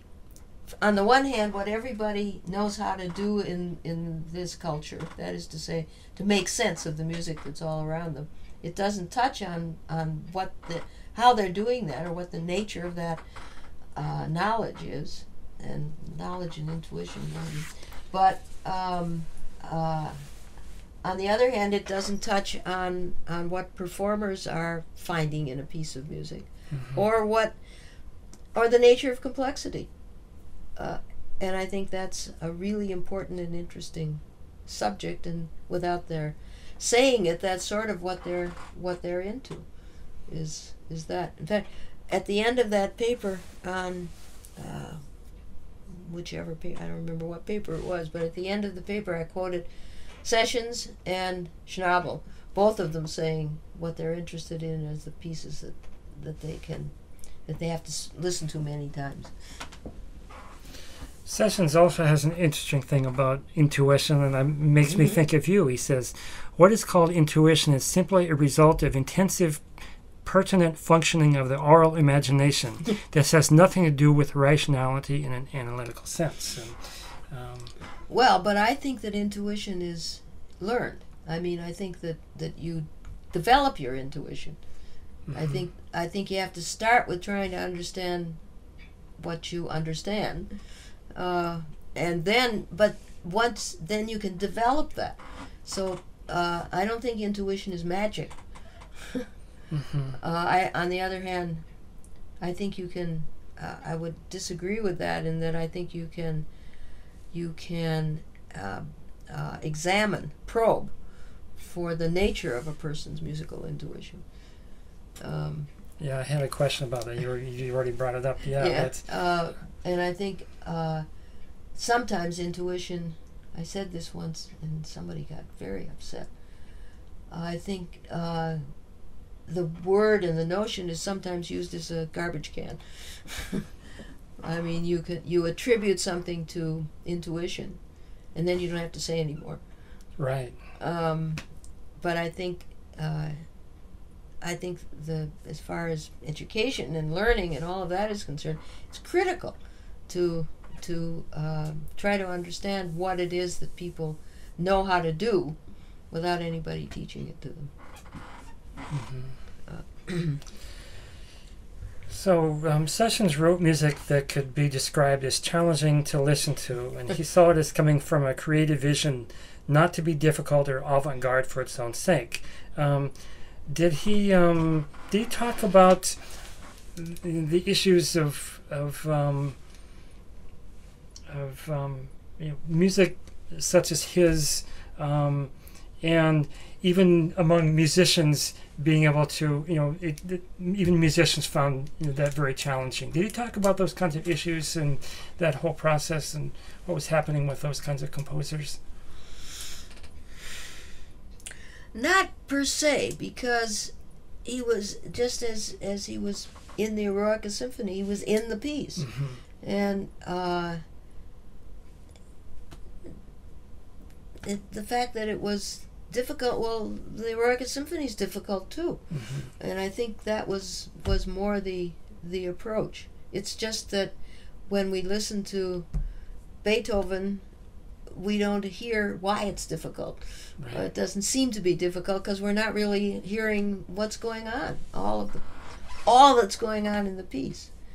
Uh, in fact, you know, I, when people ask me what I do, I, I, I, uh, one of the things I say, quip, is um, I'm interested in helping people to hear the complexity in a complex piece of music.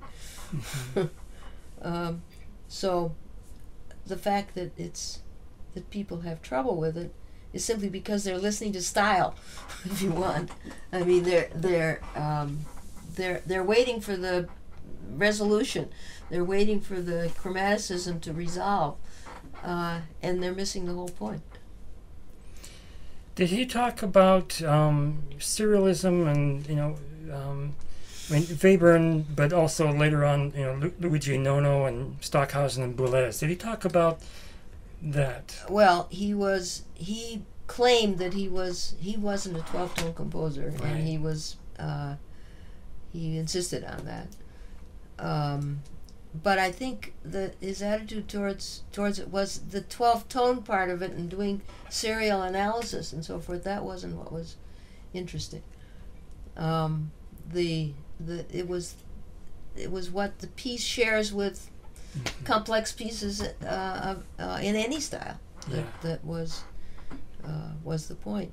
Of course, when we we did the fourth quartet and then the Bartok quartet, it was almost as if this was to show the greatness of Schoenberg and the less greatness of, of Bartok. But the but Bartok was already much better than Stravinsky. He also had a thing about um, national style. Wait, I just remember we did the, the symphony in three movements of Stravinsky. Uh-huh. Those were the three pieces. Is it possible that some of the problem he had with, with Bartok was the the kind of Hungarianness of it? I don't think so because we used to talk about uh, the difference between uh, people who wrote ethnic music borrowing hmm and uh, in contrast to well somewhere the, the notion of renting a house instead of living in it. Hmm um, but i don't think uh, no i don't think it was the fact that he was using folk songs or Mhm. something. But um, it was just because what was what's important is what people do with their Right. material So, so he had a kind of a, a preference to uh, Schoenberg to. Um, to bartok and certainly to stravinsky mhm. Wow. Um, we can't get through this next next topic now, but um, um, let's um, let's see what we can do. Um, your master's degree, and we've talked about some of the stuff you've already done at Yeah. at, at, um, at Berkeley. Um, you mentioned your your master's degree was on on um, Krenek's um, piano sonatas. four right? sonatas yeah. Okay. Um, did you also study um, piano when you were at the university there? no Uh-huh. not at all i just played a lot Mhm. um, and that was was that your first experience playing contemporary music? yeah Yeah. Yeah.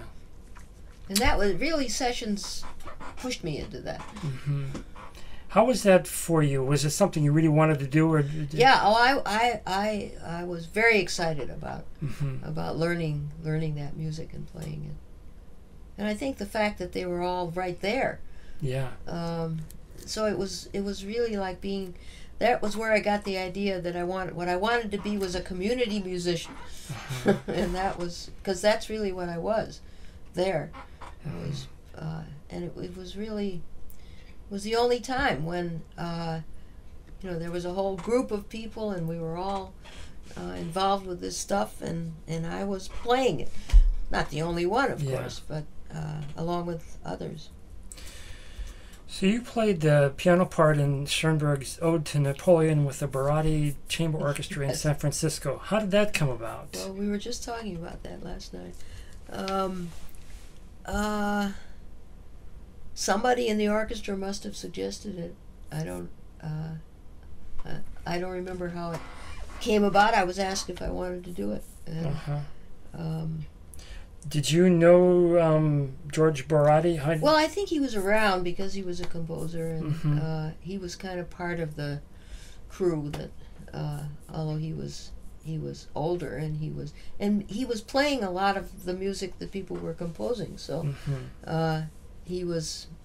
I don't know if I'm pre- pretty sure I had met him before, but you know the fact that I was playing all of this stuff, And so you were kind of known out there as a pianist that could do it. absolutely Yeah. right. Um, yeah, George Barati, his dates are 1913, 1996.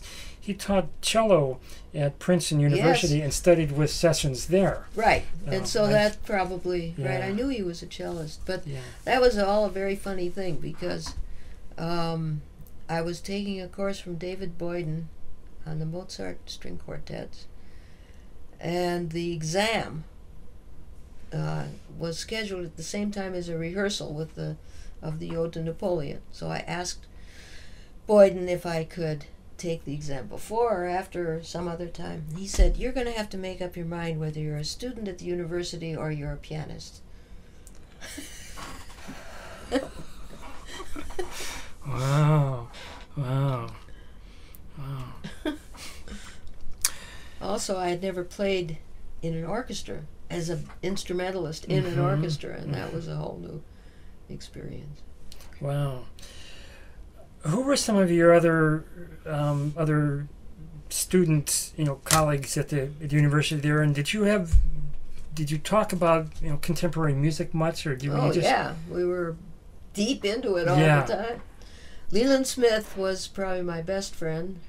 He's the Mhm. you know he he was at Stanford. He Yeah. retired, but he was he's the guy who did score. right? Um, he and his wife were probably my closest friends. And then I don't know. There was a um, um, uh, what's his name?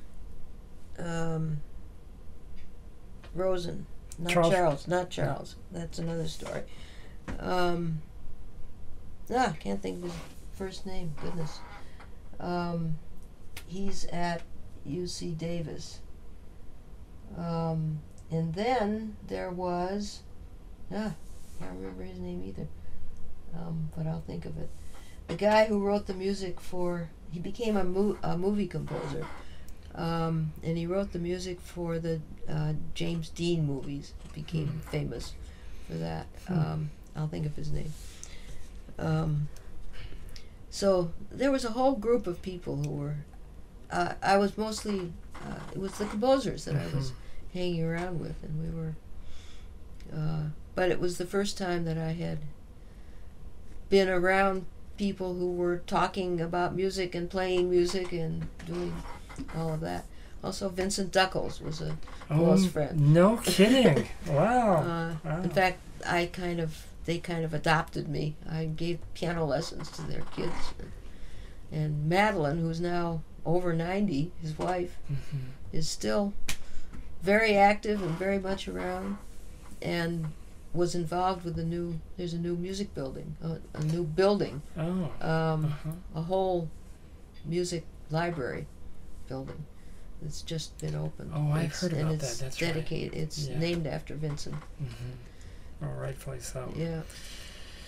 I know that at various universities, among composition students um, in, the in the past, there were lots of debates about 12-tone music and the way that it became kind of institutionalized.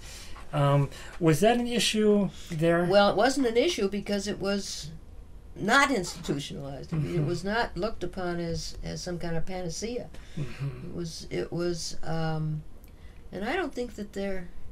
I don't remember. Certainly, none of the pieces that I played were twelve tone. Mhm. Um, and the students of sessions were not writing twelve tone music. Yeah. Um, and that meant that they had to really work hard to find how to be not tonal. They had to find their own, uh, Their own um, voice, yeah. voice or whatever you call it. Um, yeah, there were a bunch of others too, whose names I will come up with eventually. At your performance of Ode to Napoleon, was Schoenberg there possibly? No. No, he was already pretty pretty old, but I I did go to see him. I, Uh huh. Want to tell me about that? Uh, Well, that was also because of David Boyden in a way. I wanted to write my thesis on the sonata form in atonal music. Uh-huh. And David Boyden said that was by definition impossible. well, but there are all those pieces that are in sonata form, like the lyric suite comes Yeah. to mind. Okay, so I said, I'm going to go and ask Schoenberg about it. So Roger arranged for me to uh, go and talk to him. And um, it happened that, I mean, this must have been in 1950 or something like that, 49 or 50. Uh, and if there was a big Schoenberg, all Schoenberg concert in Los Angeles celebrating his, what, 75th birthday? Would that be? I, something like Yeah, that. right.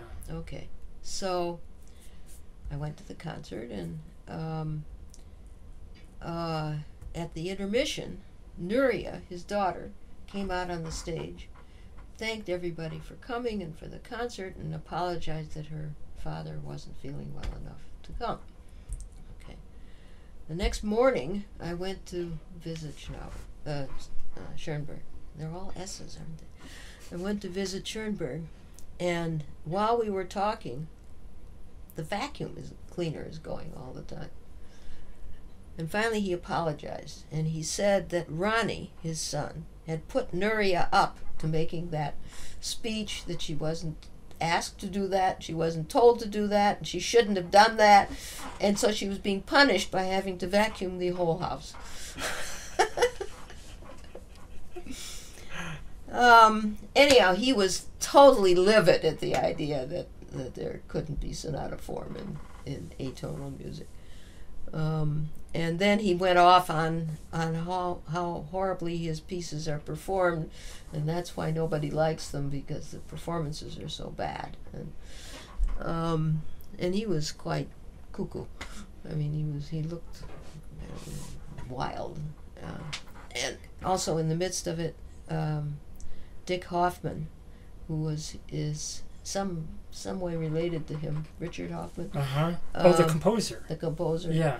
Um, he was he came every morning and went through the mail and organized things. The mail arrival was the Oh, that's right. He was kind of an, an assistant to him and, he was cleaned up right. his archives after he died and yeah, stuff. Yeah. right. He was there doing that. Right. Um, so that was the that was the visitation with Schoenberg. After that, I, I became quite friendly with his daughter Nuria. We used to play tennis. Um, so So, what more did he say about sonata form in, in atonal music? That Well, I can't. He sort of began just railing about oh uh-huh. everything, but uh, it, it- what he said was so, it wasn't a matter of the tonic and the dominant, but a matter of contrast. And there were lots of ways to make contrast, Mhm. and that it was stupid of anybody to think that that uh, that that was the essence of sonata form, was the uh, the the tonal areas Right. that it was the um, it was the structural contrast that was Mhm. important. So, uh, but then I So, what did David Boyden say of that after you came back and reported? well, I think him? by that time I was hardly talking to him. I was through with that. But there was a problem also with Bukofzer. Uh-huh. um, uh, because I didn't have enough footnotes, and I didn't. I had uh, I said things, and I didn't say where they came from. This was after the whole uh, thesis was typed and ready to go, and I'd been working on it, of course, with with Sessions. And Sessions and Bukofzer shared an office. And I always used to say that if if Sesh, if Bukofzer didn't smoke his cigar, and Roger didn't smoke his pipe, so that there was a great lot of smoke between them, they would have, I don't know, fought. They would have beat each other up or something. Um, but uh, so Bukofzer made me put things in like um, private conversation with the composer, um, and because I had uh, the whole interest in the that goes back to a question you asked before, but one of the interests that I had in doing it was was this change in style. and the four piano sonatas cover the whole uh, uh, the change. Um, and so I was trying to account for this change in style um, by what was going on politically and uh, where he was moving and, and what was going on musically, politically. And Bukofzer didn't want to have any of that because I couldn't document it. so I had to put in these footnotes and I had to rewrite the, the thesis. Uh, and finally, and I, I, in the meantime, I'd gotten the Fulbright and was leaving and I was finished.